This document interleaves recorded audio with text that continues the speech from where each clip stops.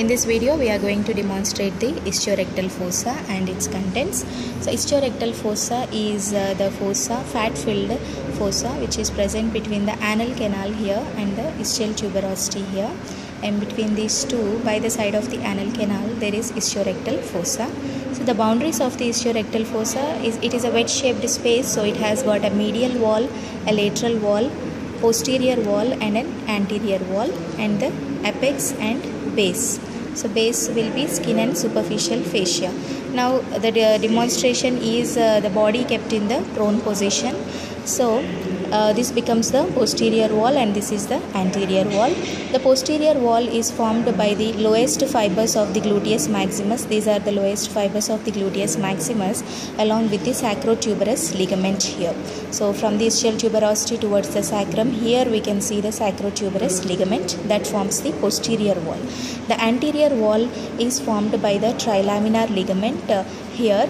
Uh, this consists of the colles fascia lower down uh, along with the two layers of the urogenital diaphragm that, that is the superior layer and the inferior layer of the urogenital diaphragm which is present here. So this forms the anterior wall of the ischiorectal fossa.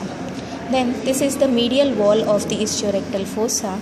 Uh, this is formed by the levator ani muscle covered by the anal fascia. So this is the medial wall of the ischiorectal fossa then this is the lateral wall of the ischiorectal fossa. The lateral wall is formed by the obturator internus muscle covered by the obturator fascia. So these are the boundaries of the ischiorectal fossa.